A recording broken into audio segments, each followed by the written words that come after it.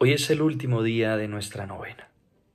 Un día para sentirnos amados por Dios, porque Dios se ha hecho hombre por amor, se ha encarnado en las entrañas de una virgen por amor a ti, por amor a mí. Es un día para no sentirnos solos, no te sientas solos. Dios te acompaña.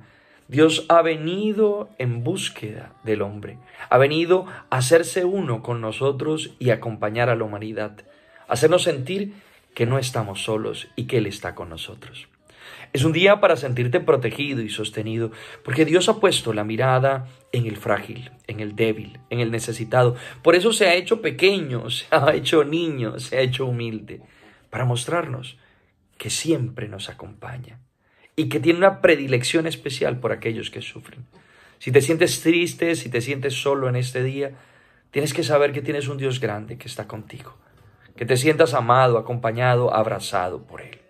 Estoy orando por ti, estoy pidiéndole al Señor que te ayude en todas tus necesidades.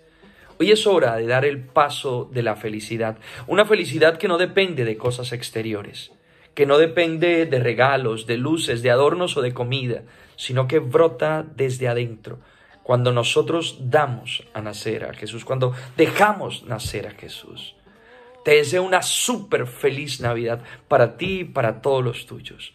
Que Dios te bendiga y te llene con ese amor infinito propio de la Navidad, porque Jesús es Navidad y Jesús está contigo. Dios te bendiga.